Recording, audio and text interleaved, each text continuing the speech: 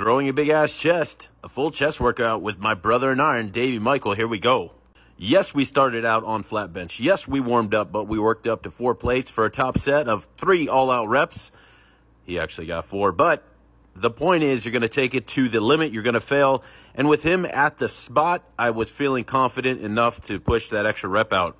Yes, this is a full chest workout video. However, let's talk about leveling up just by having a great spot training partner that you trust, you can get more out of what you're trying to achieve. This was not my conventional DC heavy duty training workout, as it was a little bit more fluid in terms of our energy was clicking, so we kind of went and winged it along the way. We did start out on that flat bench. We did get three.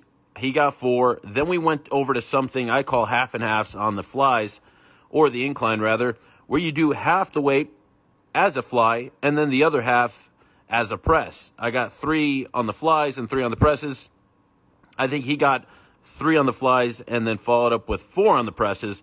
But again, you push to the limit, you push to failure. We did the one top set on flat bench. Everything else was warm up. And then we went right over to here. We did half and halves. This annihilated every part of our chest. When you're always looking for ways to make the workouts harder, obviously the reps count, obviously the weight counts, but you can also add intensity with a solid training partner and a solid spotter. Once again, a full chest day flat bench straight into half and halves on the incline flies and presses. This was an epic workout. There'll be more to come. Keep growing.